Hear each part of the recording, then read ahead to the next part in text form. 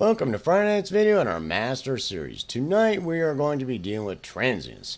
So when we're dealing talking about transients, basically we're not talking about transient work when we do first stage processing in the next phase. We're just looking for problem transients, transients that are a problem. So let's the best way that I deal with transients is that basically I will cut and reduce the transient itself. I will put a fade in on it or I use an ADSR tool. And sometimes ADSR tools can be great if you've got a whole lot of transient problems across a track. But transients are very simple to deal with and a very simple concept.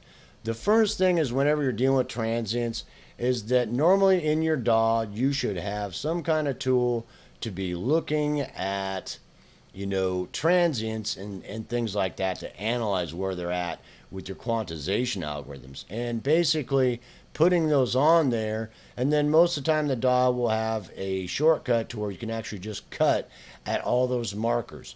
Then you can go through and address any transients that you're having because you might be able to highlight two or three of them and then adjust the fade in on each one of them together rather than have to do them separately you know, it's a great thing to experiment with.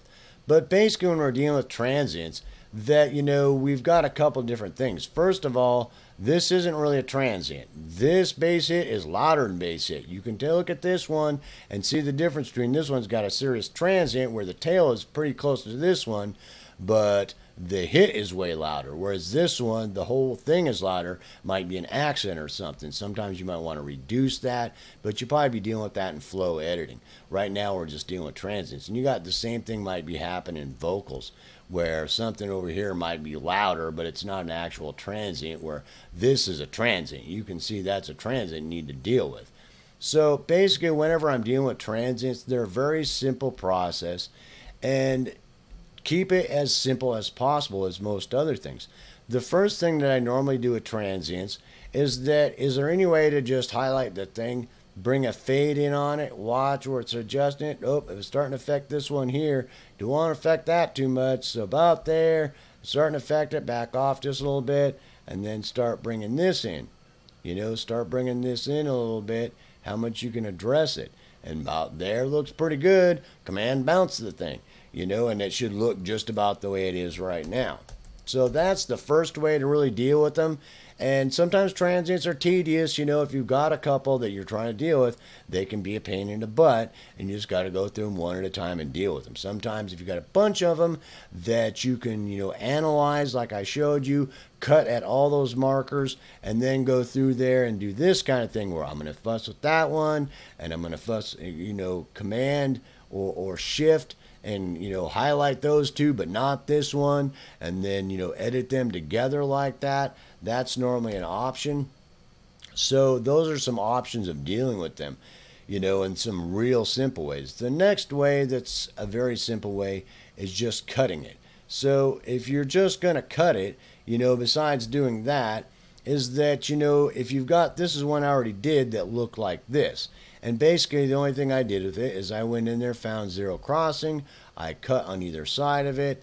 I brought it down and then I command then I selected all those areas and those events that were connected and command bounced it until it was done. And then basically that it should look pretty similar to these ones here you know, you adjust the volume of it a little bit till it's about the same, and it should look pretty similar.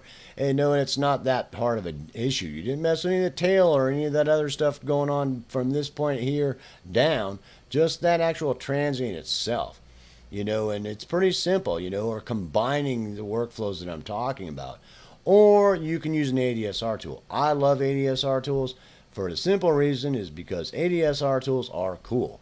And on top of it is that you know, you can go ahead and address whole tracks. If you've got a bunch of tracks with that same problem happening, that you can set up for this to happen every so many beats or every so many moments in time, and that it'll affect all of them. Bam, bam, bam, and they'll all get worked on at the same time. So all your transients are issued or dealt with. There's other, you know, transient tools, transient shapers, and things like that. But I like an actual ADSR tool like this that actually deals with the ADSR.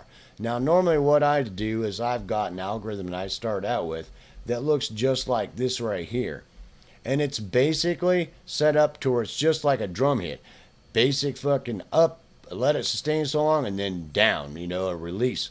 And then I start fussing with it from there because obviously on this drum hit, that there's not a whole lot of ADSR going. There's an attack, and then it drops off really fast. Uh, you know, it decays really fast, attack, decay really fast, no real sustain, and it just releases down. Does that make sense?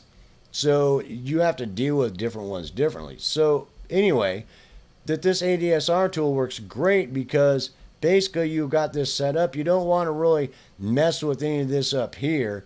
That's the release. So you don't really want to fuss with it too much. You want to leave it basically alone. Let it release way out like the other ones. And you just want to bring that. This attack would normally be up here like the one I just showed you in the on the other event. And I dropped it down and then brought it in almost like bringing a fade in. Now that right there, if I got that on there and I just render that on there, that it's basically done.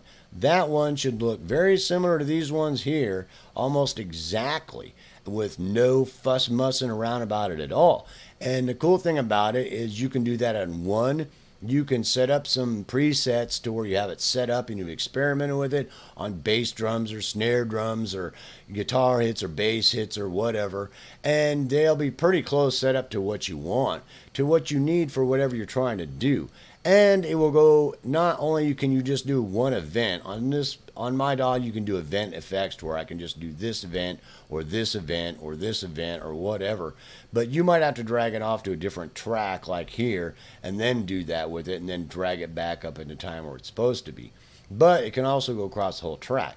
So that normally deals with your transient problem in the simplest ways to deal with it. Sometimes transients are tedious, you got to fuss with them and go find them and things like that.